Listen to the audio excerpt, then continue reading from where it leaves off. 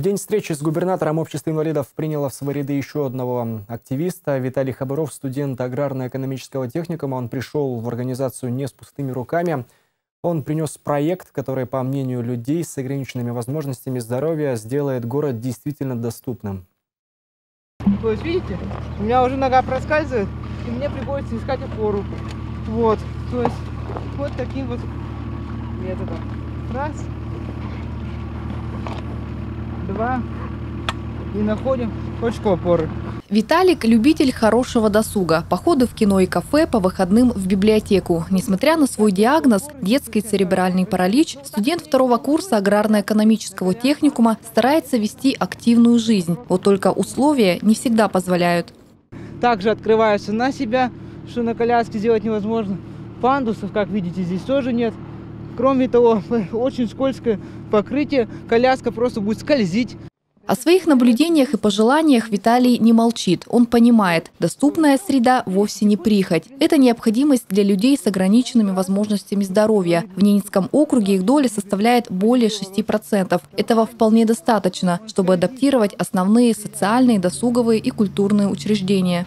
Я не говорю про установку пандусов. Это может быть, да, здесь нет даже технологической возможности сделать пандус, потому что изначально при проектировке не было это учтено. Ну, хотя бы сделать поручни, вот если потрогать поручни, они, во-первых, не почищены, сделать резиновое покрытие, которое не скользит. Кроме того, почистить, элементарно почистить, э, как, по, почистить ступеньки, то есть, потому что, я не говорю про колясочку, но вот опорник уже сможет подняться.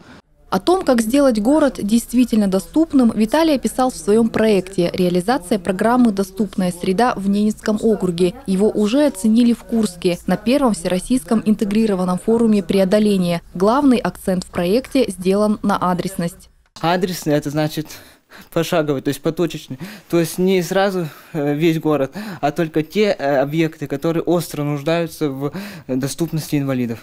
Ну, как я уже сказал, это центральная аптека, детская поликлиника, э, это э, СГК, потому что там абсолютно никакой доступности нет.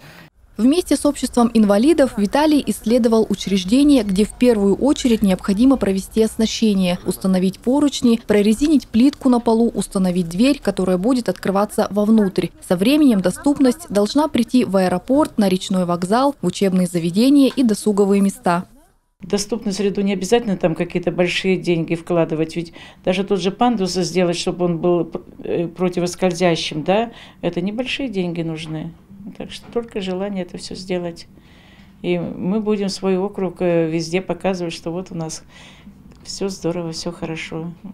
На встрече общества инвалидов с главой региона предложения студента были услышаны. Их учтут при разработке программы «Доступная среда». И Виталий готов принять в работе самое активное участие.